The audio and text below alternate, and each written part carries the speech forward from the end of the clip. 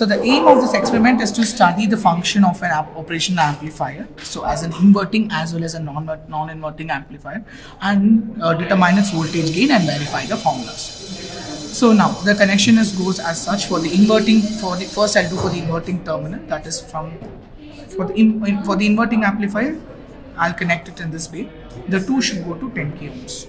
That is from here to here. From 10 k ohms, it is it is coming to the output. That is 6. Okay. Now from here, we'll connect it to the positive of the DVM. That is here and from the negative we'll connect it to the ground. Done. So this connection is done. So the next connection is the 3 has to be connected to ground. Then it becomes an inverting terminal. So the 3 from here I'm connecting directly to the ground. Now the next is going to be from just a moment. Yeah. So we'll complete the, this uh, this part of the circuit as well. That is from 2 to 1 k ohm from 2 to 1 kilo ohms and we'll be connecting 1 kilo ohms to and we will be connecting 1 kilo ohm to the 1 kilo ohm to the positive of the variable that is here. This is a variable. We can see there is an arrow over here. So this means this is a variable. Okay. And from the variable of sec uh, the, the negative of the variable will be connected back to the ground that is here. Okay. So the circuit is complete. But without giving the source the op amp won't work. So basically you have to connect 7 to plus 12 done and you're going to connect minus 12 to fourth terminal but to read the potential across the um, to read the input voltage we do need a multimeter over there because there's no digital over here so we'll just connect this to here, that is positive end to the positive end and the negative end to the negative end, that is from negative of the variable to negative of the multimeter. So keep it in DC because the current has been passed in DC, but the amplification will be in AC. So now along the apparatus. It's done. Now adjust the variable in such that you get 1 volt as the reading in the multimeter check the reading in the multimeter. It is 1.03 volts. Corresponding to this, we are getting the voltage as minus 9.61. So basically, the table will be constructed like this. For the inverting amplifier, the V in, that is what you read in the multimeter, that is 1.03, that is approximately to 1.0 uh, volts the output we are getting in terms of minus 9.75 the minus sign is very much important. Please note it the minus sign is much important because that is how the inverting terminal occurs. So multimeter uh, reading is going to be around 1.05 volts. So we'll write it in the v in. This is v in. And the v out which we get it through our dvm that is we got it as minus 9.74 please write it with the sign. So it is minus 9.74 so basically the gain, gain will be AV, that is nothing but V out by V in. You will be getting it as minus 9.9. In this case, we will be getting it as minus 9.74 divided by 1, that is minus 9.74. Now next, change the variable, this variable setting, you see, this variable setting such that you get the multimeter reading is 0.8. As you increase the voltage, you're going to notice a that is uh, uh, your output voltage yeah. around 0.8 so okay. so when this happens you can see that. Yeah. when it's around 0.8 just a moment. Yeah. So when it's around 0.8 we can see that the gain is sorry the output voltage is this much. So same way you tabulate it as this much that is 0.8 and you write the output and find the gain. So this is for the inverting terminal you can take it up to plus, uh, 0.2 and then you have to change it to the negative value. Okay? And you just measure it. So you'll be getting it in minus. and minus not coming.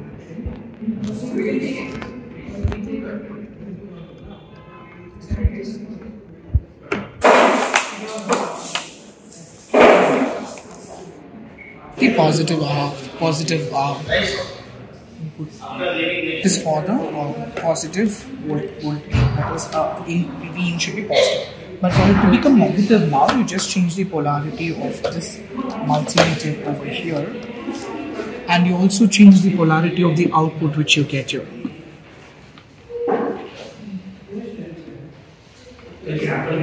So basically there will be a polarity reverse. So now if you see, if you do change the input, now we'll keep it at minus 0.8, okay, minus 0.8, we are getting it as plus 6.93. So when you do take the cleaning like this, that is minus 0.8, you get the output as plus, okay, you will be getting the gain minus, okay. So basically for the inverting amplifier, the gain should be minus values only should not change.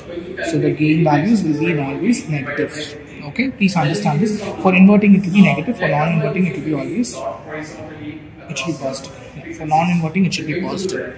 It should be it should be negative for the inverting, non-inverting it should be positive. Now this is for self connection. We have done the inverting terminal, we have got all the values as well down over here. So for the non-inverting terminal, we are going to basically uh, know, verify the non, non-inverting terminal. So for starting the non-inverting terminal, it's going to be the same. Connect minus 12 to 4 plus 12 to 7. That is the initial connections which you're going to do. Then from 2 to 1k volts, that is basically the same connection which you have done. And from 1k to uh, 1k to grounding.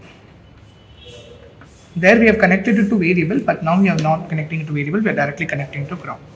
Instead, the variable will come across the third terminal, that is the 3 terminal, to positive, and you just connect the negative, uh, the the negative of the variable to the ground. That is this connection you're supposed to give. Then same. Now from three. Now from uh, so basically from six. That is from the output now. So from two again connected to 10k that is as usual we have done. And from 10k we can connect it to output that is 6 just find a shorter wire so from 10k to 6 okay? Now from the 6 we have to connect it to ground again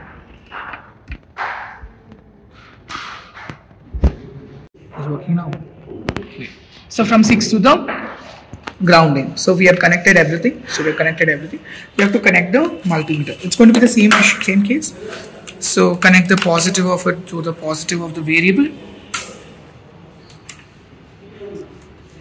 and the negative of it to the negative of the variable. And then yeah, from see from basically from six not directly to the ground. Just a moment. From six you okay Okay, so basically this is going to be the same setup as an uh, uh, inverting amplifier, but you will just connect the 2 to ground and then 3 across the variable. That's all is the difference. So this is the difference over here as you can see. Now, we have started the, we'll start the circuit then. Okay. So now I'll set the voltage to be 1 in my multimeter. Yeah, it's around 1 and we can see the amplification factor over here is going to be 11.09 as per the theoretical theoretical values. So for one uh, for one uh, V in that is for non-inverting terminal, one volt as V in, we'll get 11.09 as the V out. So the gain will be nothing but V out by V in. So that is as per like same usual. It's AV is equals to V out by V in.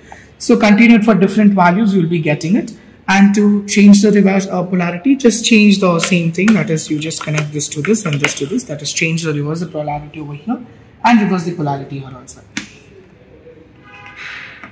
Done. So now if I give a small variable over here, that is, uh, if I give around, say I'm giving around 0.4 volts, I'm getting minus 3.79 as the amplifier, uh, like the output voltage. So when you divide it, you're going to get positive. So basically, remember that for inverting amplifier, it has to be a negative gain, and for non-inverting, it has to be positive gain.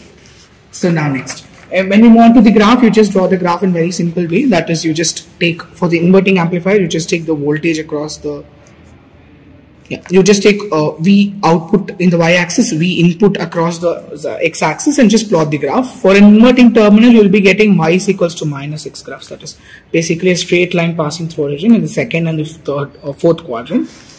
But for the non-inverting terminal, when you take the same graph that is input in y x-axis and output in y-axis, you're going to get a straight line, y is equals to x graph. So basically, uh, straight line passing through the origin in both first, uh, first, uh, first quadrant and the third quadrant.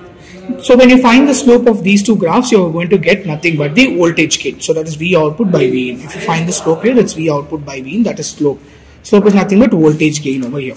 That's done. And when you find the voltage gain, theoretically what you would expect is, theoretically for an inverting terminal, you would expect the this to be minus 10 because as we can see here, we have connected it to 10 kilo ohms and 1 kilo ohms. So basically for the inverting terminal, AV is nothing but RF by RI.